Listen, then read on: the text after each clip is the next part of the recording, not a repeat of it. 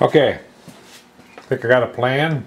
Got a thin parallel in there that's about the right height. This is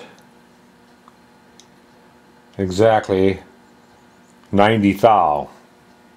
So what we need to do is touch off the top of this, go down 390 thou. So, I load her up here, see what we got. I got my coolant over there, or my spray, spray bottle.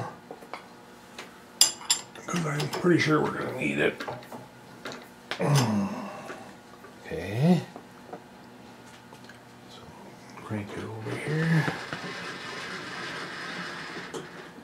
Down. Touch. Lock spindle of there.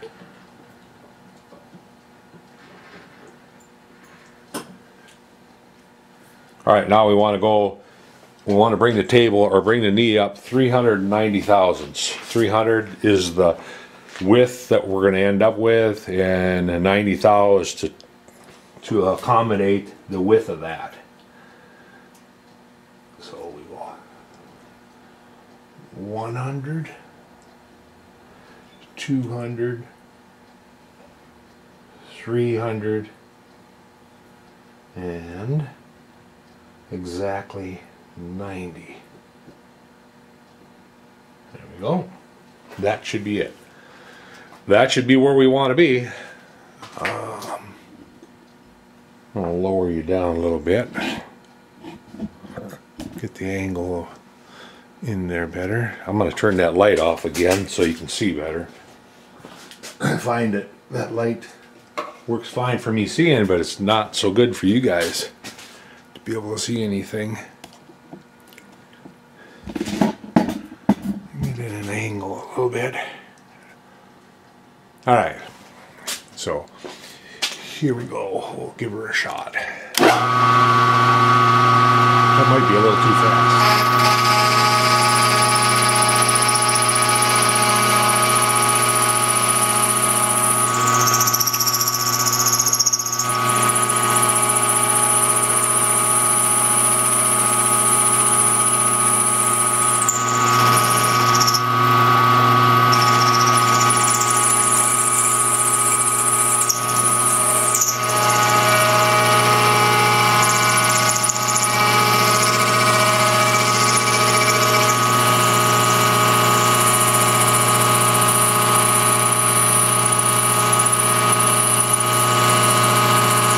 Going to come down this side just about to the end and then go back and then come down the other uh, on the back side.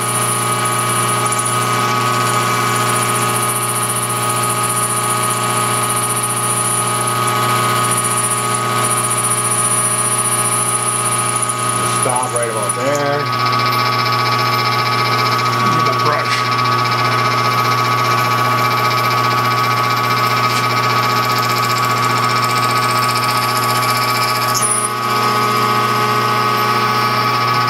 I'm going to crank it into the inside or the back side.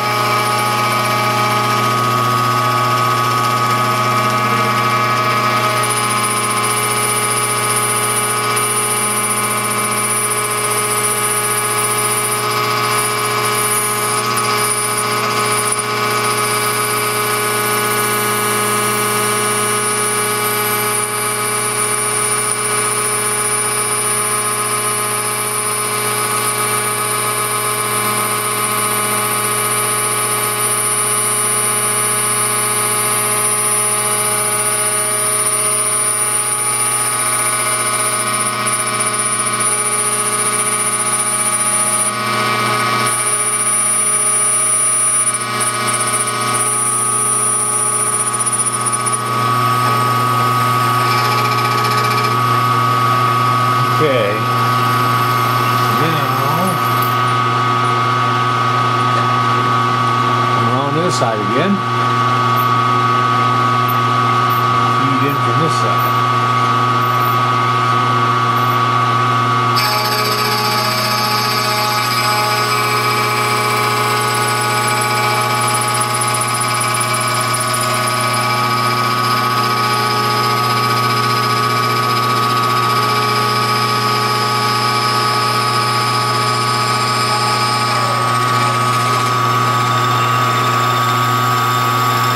Should be,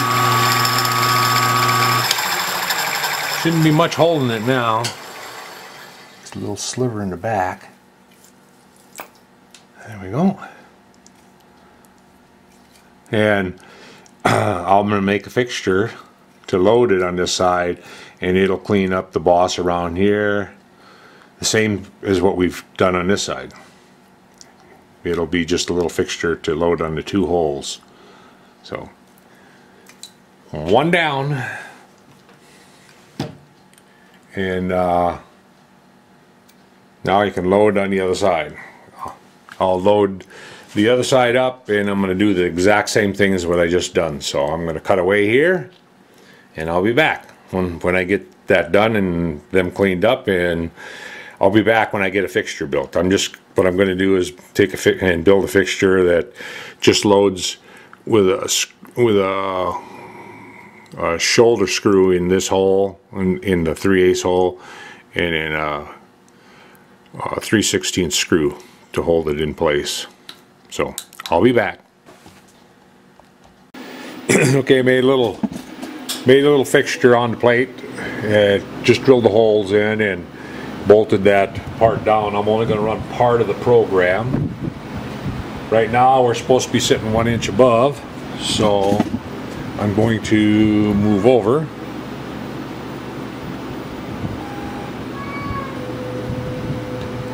And then I'm to put my height setter on there and bring her up. Until she touches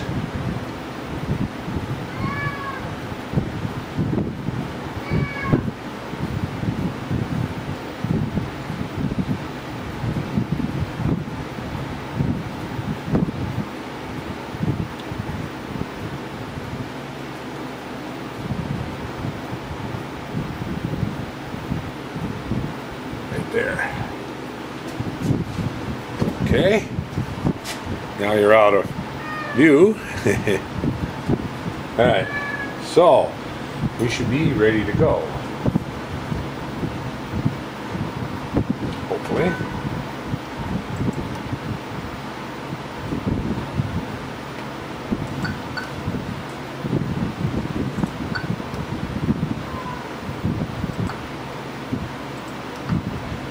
Oh, I got my spindle turned off up here.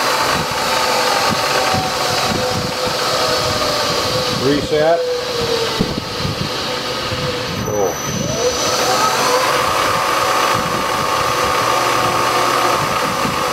Now it's going to think that there's a block out there, but there's nothing there because the part's already done. All, the only thing I want out of the program is that and that. I could have edited the program Got lazy. Just gonna run first half of the program.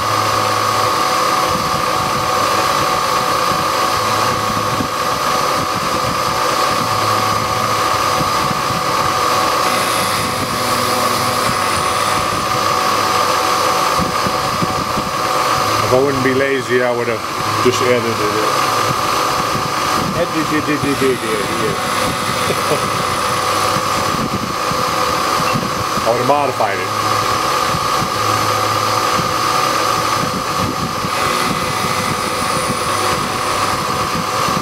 But this will work.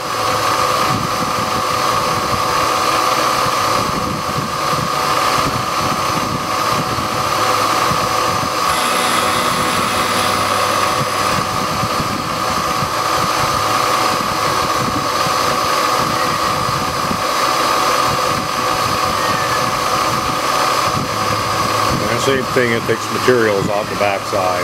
There's no material there.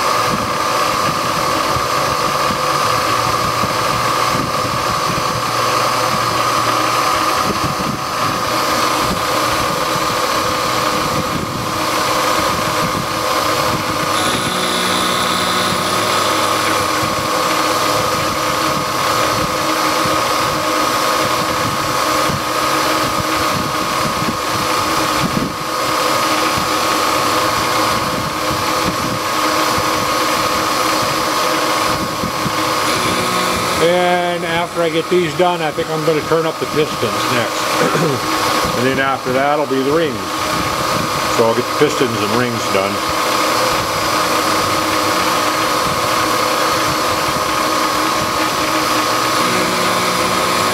I have some I have some cast iron for the rings. And the cast iron that I use is it's called nodular cast iron, which is not sure which one it is, but the granules in the nodular is are round. Uh, the other cast irons, they're flaked and uh, nodular holds up better than the plate does. Doesn't break. Has more tensile strength, I believe it is. Yield strength, not tensile. Yield.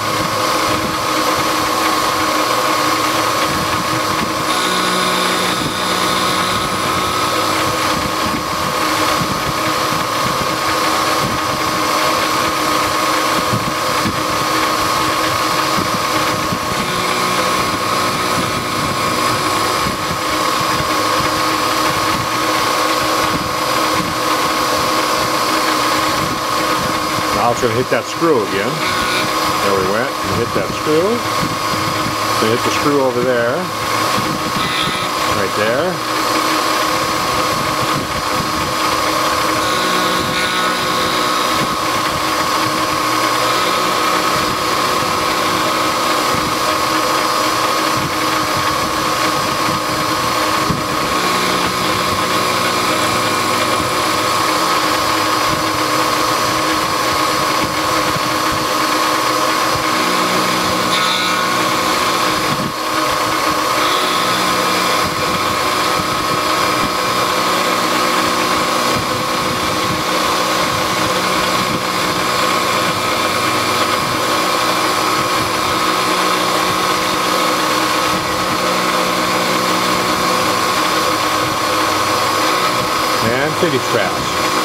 finish pass. Around that, finish pass around that. When it raises up, then I'm going to stop it.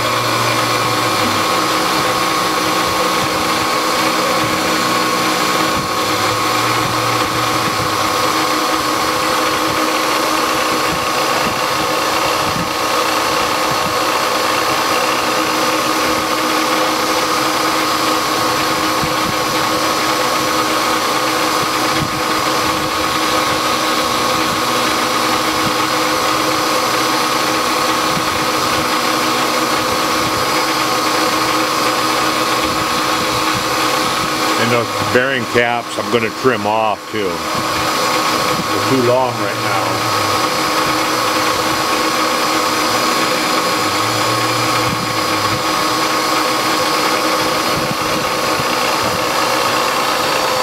Okie dokie.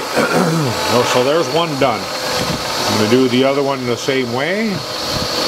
And when I get done, uh, I'm going to deburr them and clean them up. And I'll come back after that. okay, I am not going to go with uh, the style piston that they have in the plans. I've come up with my own. Oops, doing it my way again. Um, instead of, they're calling out of inch and 250, I'm going to go inch 20, 125 long and I'm going to put the wrist pin at from the back side from the skirt side 545 it'll still give me the same distance that they have in the plans from the center line of the pin to the top of the piston. The piston diameter will still be 750 I will not go with set screws two two set screws. I'm going to put Teflon plugs in on both sides instead um,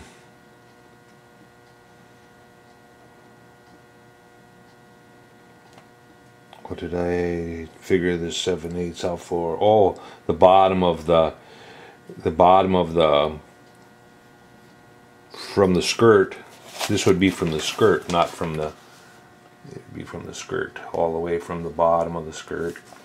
750 the pocket here is going to be 750. That's enough to clear the 3 eighths that's going to be in there because right now it's 545 to the center line of the pin. So it's a 3 eighths diameter. Uh, let me measure that real quick. Oh, I got I have them on the motors. I have them on the motors here, so. Um, so this diameter, the wrist pin, the wrist pin diameter is the diameter that I'm looking for, which is, I thought it was 3 A's for some reason. Yep, 3 A's. So that means that means this pocket depth need not be any deeper than um, than 750 deep. Uh, the width of the pocket is going to be 5 sixteenths wide, which will give me a little bit of clearance. The rings, the ring uh, depth, I'm going to go uh, a 16th wide and uh, about about 36 thousandths in thickness wall thickness of the ring. So that'll give me uh, about a 70 ID so that'll give me 610 plus nothing. I figured I'd hold it to minus 2 thou plus plus nothing minus 2 thou on the uh, ring depths that'll give me eight thousandths of compression of the ring com can compress into that slot. Um, the pit, like I said, the piston is going to be aluminum too. It's not going to be cast iron. It's going to be an aluminum piston with cast iron rings. Um, so I'm going to go and get going on this and see what I can come up with. Um, I don't like, like I say, I don't like, uh, well, I'm not going to put a cast iron piston in it. I don't like cast iron riding on the uh, steel wall in there, extra weight slinging around, and I, I just don't like it, so that's what we're going to have. We're going to have an aluminum piston. So, but anyway, this is kind of the numbers that I came up with. This is an old drawing that I made once before in one of my motors and it worked. But eh, but back then I went and made uh, two set screws to hold the wrist pin in and I have recently gone to Teflon plugs and, and it's less work just push a Teflon plug in on each side. If they move they'll come out and ride the uh, cylinder wall ain't gonna hurt nothing isn't going to hurt nothing. So, anyway, I gotta find some material. I had some 750 in there, but unfortunately it didn't run true enough. So to uh, I want to hit about a thou and a half to two thou undersize. This and this piston that I made before did run in uh, steel um, steel liner so I know that even getting warm is still it seemed to work just fine. So enough jabbering. I'm gonna go and see oh um, I did put them on the journals. They are a little there's a there's a little bit of snugness in them but it's not bad. It, it once run it one time or a little bit and it'll be just fine they'll they'll be just fine. So I, I did not cut the I did not cut the caps down. I was going to do that, and I still am. I'm just going to cut these caps down because they're too they're just not proportional. So I'm going to measure this on the rod and hold the same thing on the cap so the cap will look quite different. Well, it'll get milled down to the tangency of that of the land for the spacer in there. So that's just something that'll quick do. But for now, I'm going to go get some aluminum and start turning up a piston. And we'll see what we can come up with. Catch you later.